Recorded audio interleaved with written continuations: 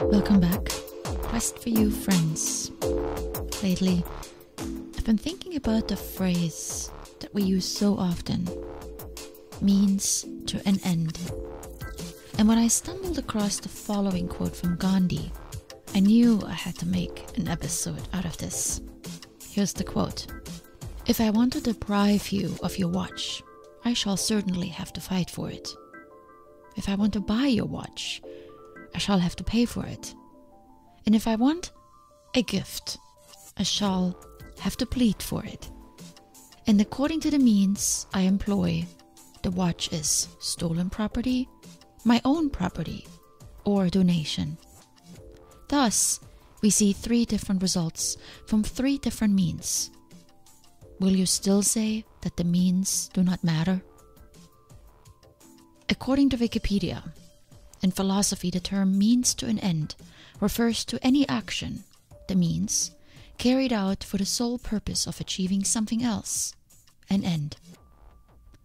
When I think about the means to achieve an end, I cannot help but notice the emphasis on the end and the disregard for the means to get there.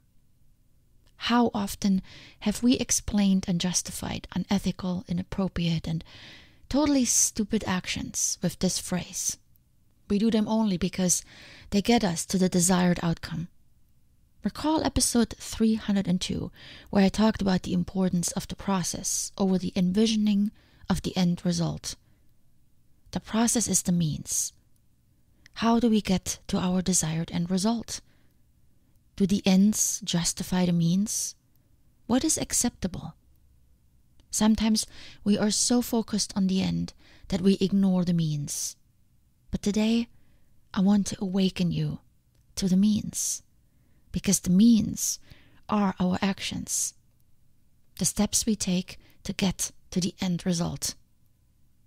I'm certain nobody listening to this podcast lies and cheats their way to the next level in their life.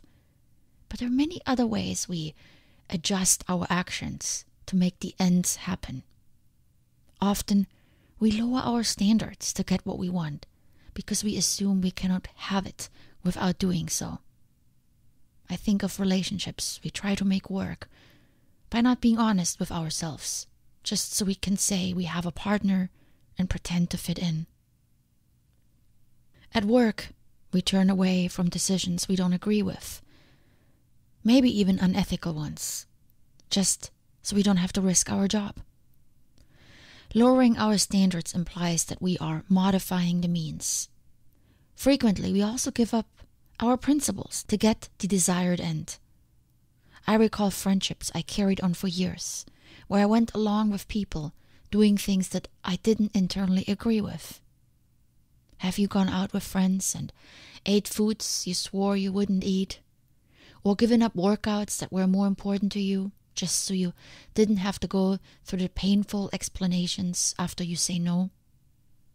Instead of acting in line with our values, we choose a different path so we can get the end the friendship, the partner, the fun activities, and the acknowledgement.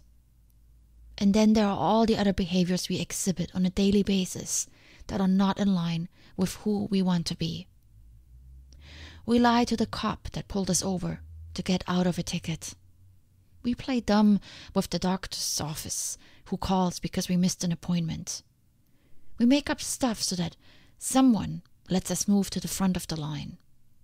And we yell and threaten people when they screwed up our plans and schedules.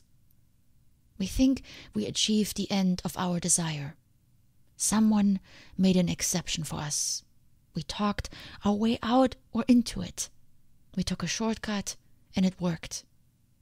But the end is not the end that we really desired. Because we took different actions, the results are different. Recall Gandhi's quote The watch is the end result in all three scenarios, but the way it was achieved it changes its description. The stolen watch, the purchased watch, the donated watch. All three are different based on the action taken to get the watch.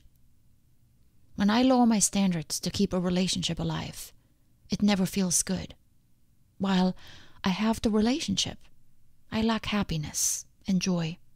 When I give up my principles because I don't have the guts to say no to other people, I feel regretful and frustrated.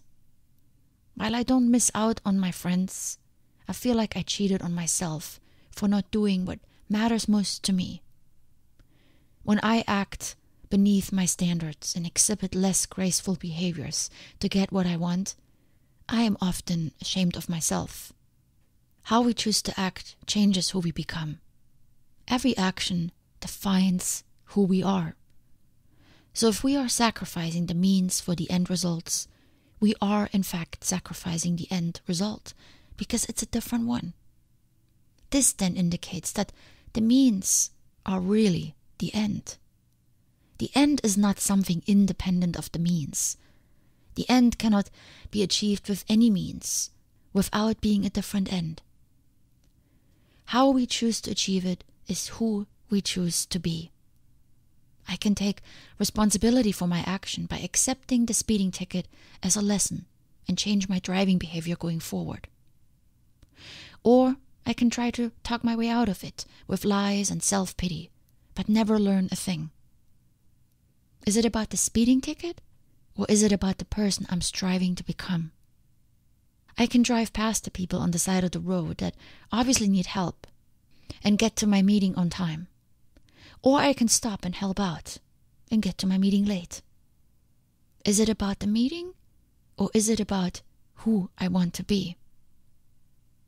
Let's ask ourselves is it worth changing the means in order to find the best outcome?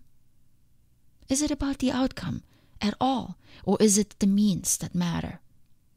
Is it worth sacrificing who we are to become someone we don't want to be?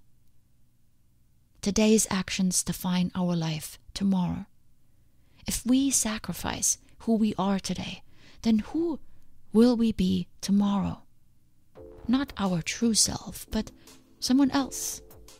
Not the person we want to be, but the person we settle for. Not someone who we are proud of, but someone that just made it through. The way we choose to get to the end defines what it's going to be like when we get there. Exhausting because we rushed through.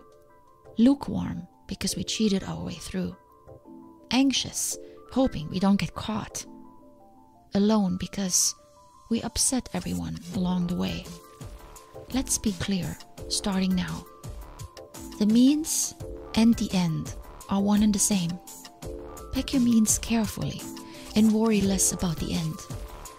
The more you think through your means, the more you stay true to yourself, your path, and your values, the better your outcome. Maybe even better than you can currently imagine. Much love, my friends.